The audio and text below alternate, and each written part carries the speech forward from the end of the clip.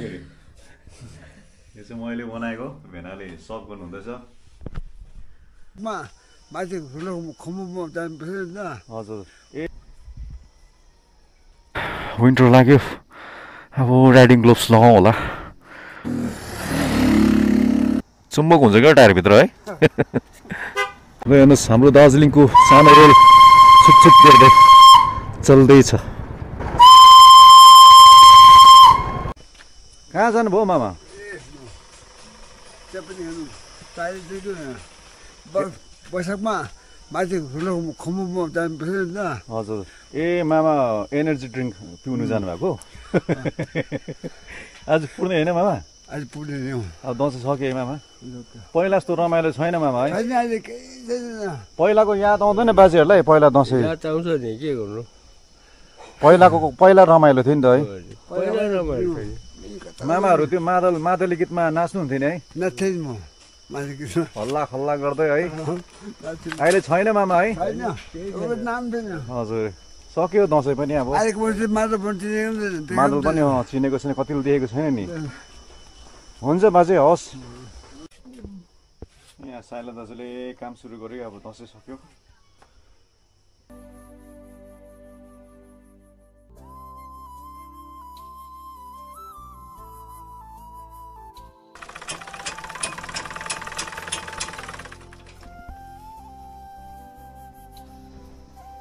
सयपत्री फुल कता कता चाहिँ फुल्दो रहेछ है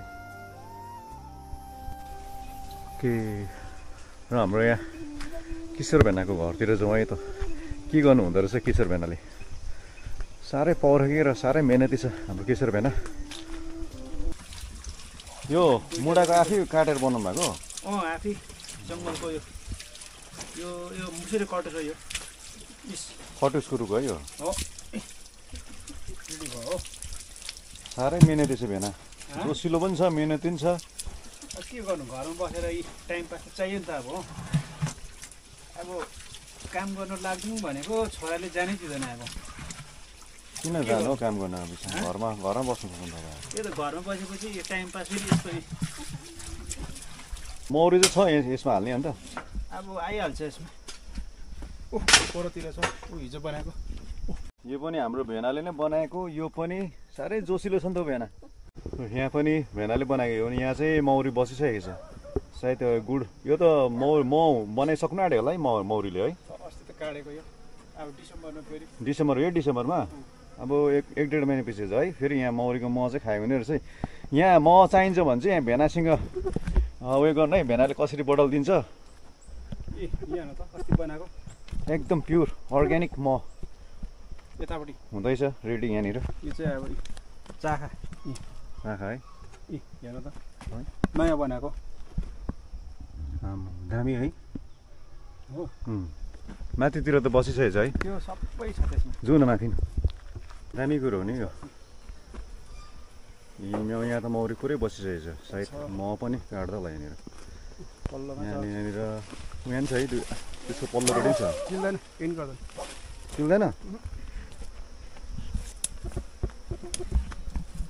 माथिबाट देख्दैन?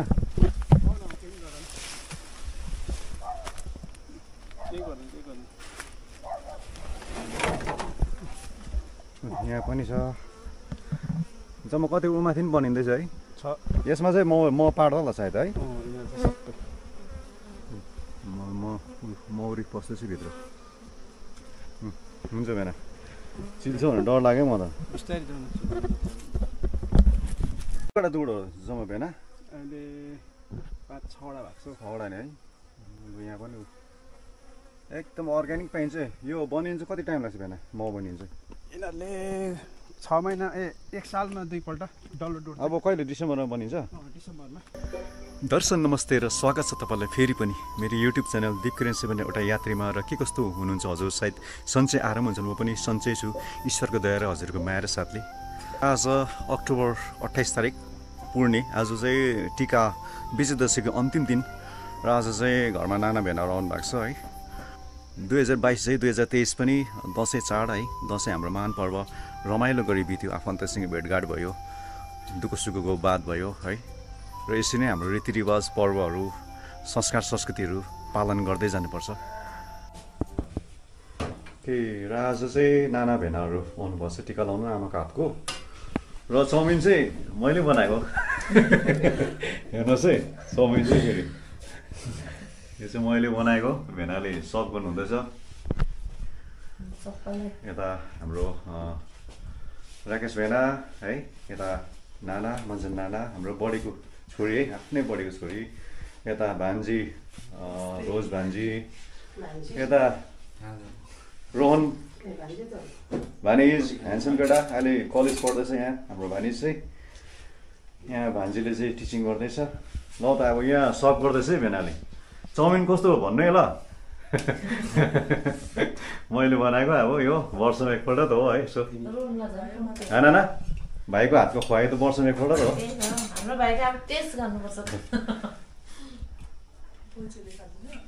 खाँदैन बस्नु न तपाईँ।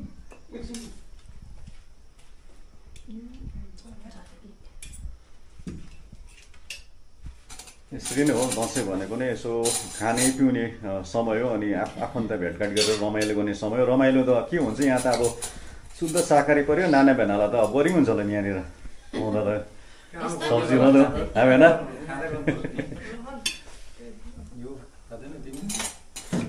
ल एकदम मजाले। हालिस् ल। जम्के जम्के जम्के। टेस्ट गरिदिउँ है। लु, कस्तो भयो लु है कस्तो भयो लु है। लु भेनाबाट ल पहिला टेस्ट कस टेस्ट गर्नुहोस् है कस्तो भयो? चाउमिन।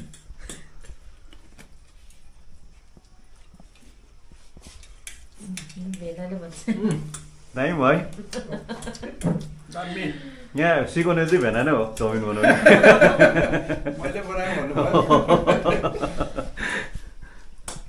कस्तो भानिज कस्तो भएको छ भानिज दामी भएको छ। मिठो भएको छ भान्जी? लु ना नाना नि सुरु गर्नुहोस् अब। ए नाना भेना एकदम फोटो सेसन हुँदैछ। फोटोग्राफर चाहिँ यहाँ मिस्टर रोहन भानिज मन पराउँछ तर यो आँगन क्या हाम्रो घरको है? मजाको छ है? आज यहाँ फुलहरू मजाले ढकमक्कै फुल्यो नि त। बबाल देख्यो नि। हुन्छ भेना। हजुर आउँदो साल पनि यसरी मन मान्नु पाउँ है। यसरी भेटघाट गर्नु पाउँ आफन्तहरूको एउटा सम्बन्ध प्रकार बनाए है।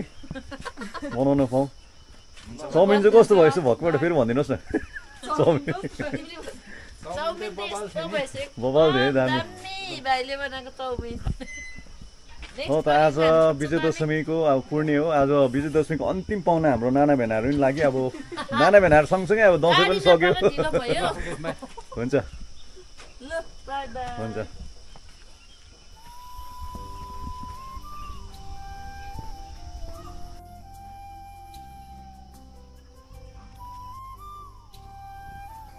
साँझको दृश्य। सूर्य अस्त हुन लागि रहेछ पारी छितेजमा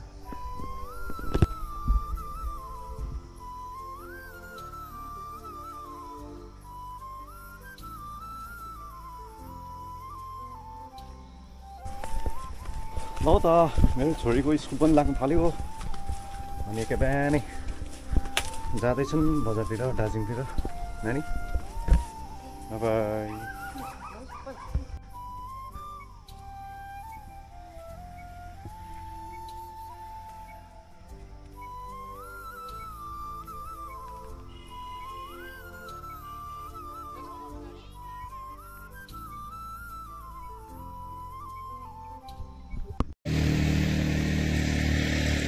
ओके र आमा नानीहरू चाहिँ बिहानै गाडीमा गयो दार्जिलिङ। र म चाहिँ अहिले यहाँ तक्तामा छु। फुलहरू हेर्नुहोस् न सयपत्री फुलहरू काँसी फुलहरू फुलिरहेछ। अब यो सबै लक्ष्मी पूजाको लागि सायद बाइक चाहिँ यहाँ राखेको छु मैले। र विशेष गरेर चाहिँ यो सामानहरू यो सामानहरू पुऱ्याउनु गएको म चाहिँ दार्जिलिङ। आमाले आमा नानीहरू सक्दैनन् भारी छ सामान।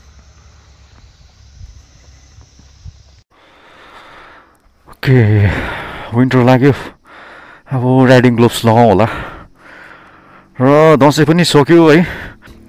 र दसैँ पनि सक्यो। यो बाटो बनिएर त यहाँ बाइकहरू स्कुटीहरू यस्तो कुदाउँछ कि केटाहरूले? अब त म चाहिँ दार्जिलिङ गएर चाहिँ डाली गएर यो सामानहरू चाहिँ पुऱ्याएर अनि अलिक घरको कामहरू गरिसकेर फेरि म ब्याक टु होम घर फर्किन्छु। त दसैँ पनि सक्यो र अब दिपावली आउनु बाँकी छ र मिलेछ भने चाहिँ म चाहिँ यो दसैँ पछि दिवालीको अघि चाहिँ कतैतिर निस्किने प्लान गर्दैछु हेरौँ अब के कस्तो हुन्छ यहाँ जति जति म चाहिँ यो सडक भएर बाइक राइड गर्छु नि उति उति यो यहाँ यहाँको भ्यूलाई चाहिँ म क्याप्चर गर्नु मन लाग्छ क्या साँच्चै बबाल भ्यू देखिन्छ यहाँबाट चाहिँ। अझै यो चाँप फुलेको बेलामा त यति मजाको बबाल देखिन्छ भ्यू कि। साँच्चै दामी छ। त्यो डाँडावारी त्यो डाँडा पारी साउने झरी इन्द्रेणी झरी देउराली पिरतीको सलल मनभरि माया गाँसो है। यो बाइकको टायर पम्चर भइरहेछ नि हौ छ माइलमा टायर बनाउनुपर्छ सायद। कहाँ हुन्छ र तनको माया धनी? मनको माया पो हुन्छ मनकारी। मनको आँखा खोली मलाई माया गर। म राख्छु तिमीलाई सधैँ खुसी पारी। यति मजाको छ यो डाँडा यो घुम्ती।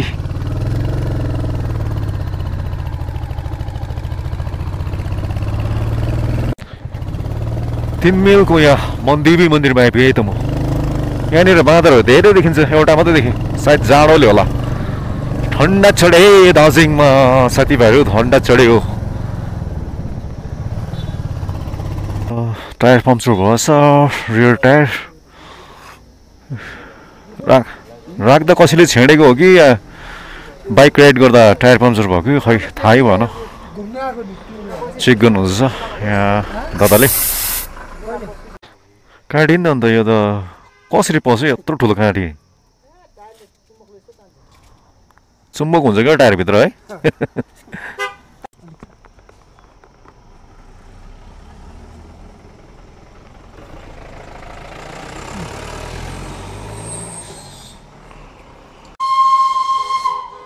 हाम्रो दार्जिलिङको सानो रेल बतासे लुकमा घुम्दैछ। विश्व प्रसिद्ध छ हाम्रो दार्जिलिङको टोय ट्रेन।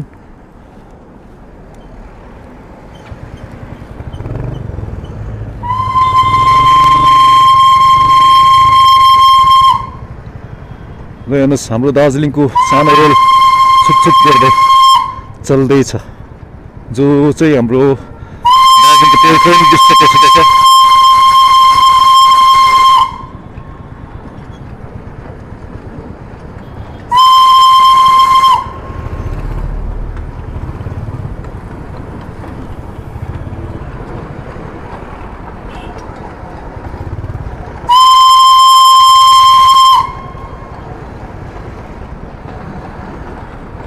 ए ल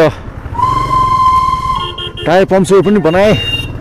अब चाहिँ सिधै डाली जाने अनि यो सामानहरू घरमा पुऱ्याउने अनि घरको कामहरू कतिवटा छ घर सफाहरू गरिसकेपछि फेरि बजार गएर चाहिँ बजार गएर अनि कतिवटा सामानहरू किनेर फेरि डाली गएर त्यो सामानहरू पुऱ्याएर ब्याक टु होम घर फर्किने है त।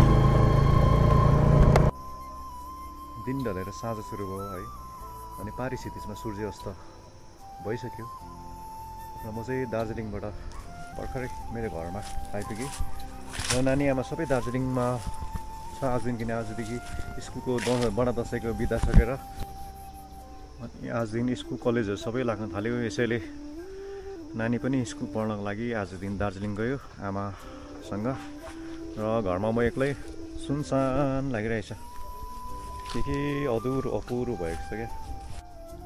ओके र आज तिस अक्टोबर अनि म चाहिँ डाली गएर सामानहरू पुऱ्याएर फेरि दार्जिलिङ बजार गएर घरको कतिवटा सामानहरू ल्याएर चाहिँ म घरमा आइपुगेँ र दुई हजार तेइसको बडा दसैँ पनि सक्यो। अनि आजको ब्लग यतिमै थियो। आई होप कि तपाईँले यो भिडियो इन्जोय गर्नुभयो है। नमरी बाँचे दैवली साँचे फेरि भेटौँला। अनि हजुरहरू सधैँ खुसी र स्वस्थ रहनु चाहिँ नभुल्नु होला है त।